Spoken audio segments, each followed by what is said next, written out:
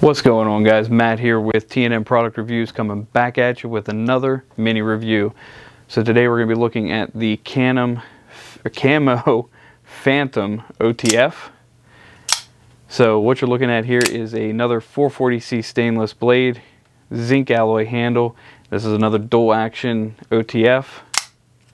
So it is spring loaded both ways.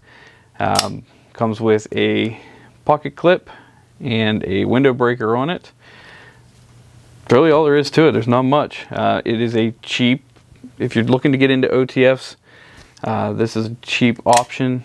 Runs about $60. It is out of stock right now on Blade HQ, but uh, it is a good option for a dual action knife. If they're legal in your area, please check your laws, guys. Um, ours here is curio only, so this stays in a locked cabinet, but nice little knife. All right, guys, that's all I got for you. Later.